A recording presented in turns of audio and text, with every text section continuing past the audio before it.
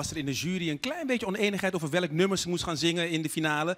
En of dat wel of niet in karakter moest zijn. Nou, voor Sanne was het al meteen duidelijk. Het wordt dé musicalklassieker Mijn Droom uit Les Miserables. Volgens Sanne een van de mooiste musicalnummers ooit. En hier is ze, Sanne.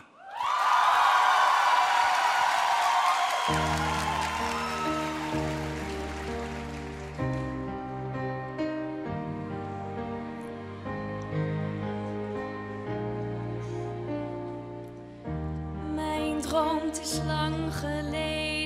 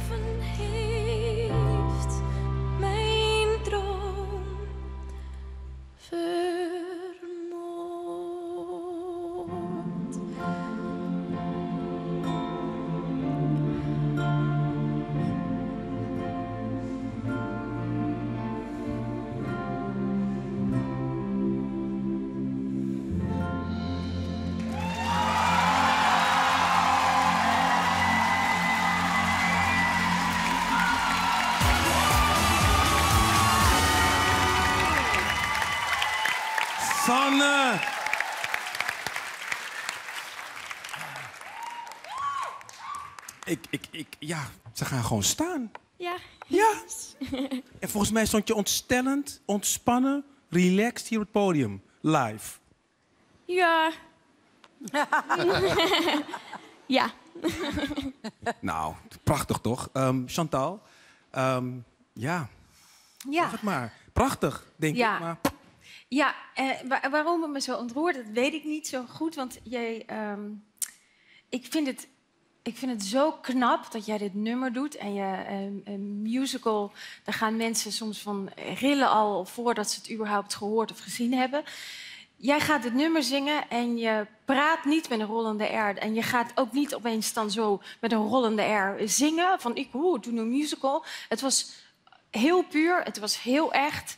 Het was echt gemeend. En ja, ik, ik, ik hoop zo dat jouw droom uitkomt. Maar eh, ik heb daar geen enkele twijfel over. En ik wil ook nog zeggen tegen de mensen thuis... als jullie denken, sommige kandidaten, het geldt ook voor jou... maar sommige kandidaten zijn zo goed, ik stem maar niet... want die komen er toch wel. Eh, eh, technisch ook fantastisch. Eh, nee, je weet niet of ze er komen. Steun ze vandaag en stem dan op je favoriet. Want die 50.000 euro, dat kan iemand enorm eh, op weg helpen. En, en dat geldt ook voor jou, Sanne. Echt, dank je wel voor het prachtige optreden.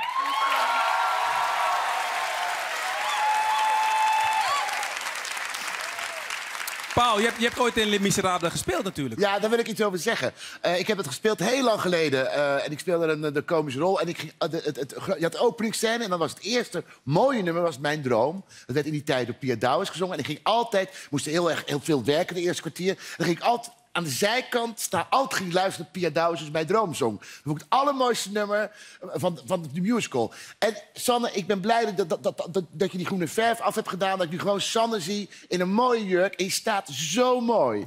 Je staat zo mooi te zingen. Jezus, wat ben jij goed, zeg. Ongelooflijk.